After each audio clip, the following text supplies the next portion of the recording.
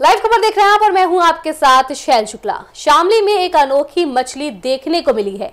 जी हाँ मछली के पेट पर उर्दू में अल्लाह शब्द लिखा हुआ है। इस मछली को देखने के लिए दूर दराज से लोग यहाँ पहुँच रहे हैं। वहीं एक युवक ने तो इस अनोखी मछली को खरीदने के लिए उसकी कीमत पाँच लाख रुपए भी लगा दी। लेकिन मछली को पाल रहे युवक ने मछली देने से इनकार कर दिया। आपको बता दें कि जनपद शामली के कैराना निवासी शबाब अहमद ने अपने एक्वेरियम में एक मछली को सात महीने पहले लाया था, लेकिन जैसे जैसे मछली बड़ी हुई तो उसके पेट पर अल्लाह लिखा हुआ उभरने लगा, जिसके बाद ये मछली एक अनोखी मछली कहलाने लगी।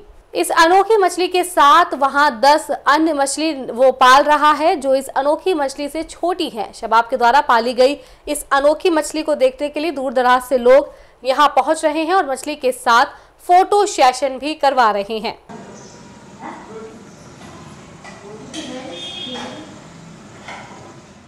ये सात आठ महीने हो गए जी इसको लाए हुए को, क्या नाम जो है, मैं छोटी सी लाया था इसको। और जैसे ही इसको पालने के लिए लाया था एक क्यूरम में तो जैसे ये बड़ी होती चली गई तो इस पर अल्लाह का नाम साफ़ साफ़ लिखता हुआ साफ़ नज़र आया। और ये हम अल्लाह की बहुत बड़ी कुदरत मान रहे हैं।